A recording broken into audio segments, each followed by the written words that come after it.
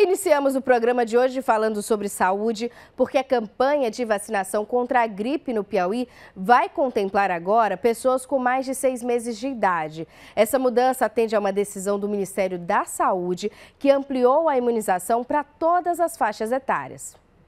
A vacina contra a gripe já está disponível para toda a população nas unidades básicas de saúde em Teresina. A campanha segue até o fim do mês de maio e conforme a determinação do Ministério da Saúde.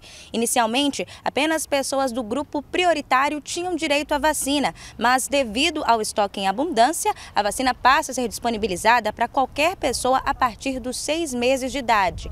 A meta é vacinar mais de 300 mil pessoas na capital Teresina. A coordenadora coordenadora de imunização da FMS, Emanuele Dias, fala da importância de se imunizar. A vacina da influenza, né, ela protege é, contra os três subtipos de vírus, né, H1N1, H3N2 e também contra a influenza B, que são os vírus que estão em maior circulação.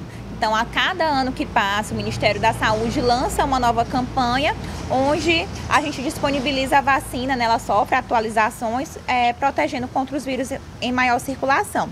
E aí, é, a gente, desde o, o, mês de março, né, a gente já vem ofertando a vacina da influenza para quem faz parte dos grupos prioritários. Então, gestantes, puérperas, crianças de seis meses a menor de cinco anos, é, também trabalhadores da saúde, professores é, e idosos, é, além de outros grupos. A gente vinha ofertando ao longo do mês de abril todo é, a vacina para esses grupos prioritários, mas a gente não teve uma boa adesão por parte desses grupos, né? As pessoas não buscaram a vacina como a gente esperava. Então, a, a nossa meta era atingir uma cobertura de 90% e a gente está com a cobertura de em torno de 20%.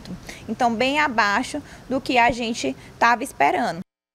Cobertura vacinal bem abaixo mesmo. Esse problema acontece não aqui, não só aqui em Teresina, mas também em outros municípios do Piauí. A gente sempre tem mostrado no Conversa Franca e nos outros programas aqui da TV Antena 10 toda a logística de distribuição, o atendimento das faixas etárias, os postos que estão abertos e esse serviço vai continuar também.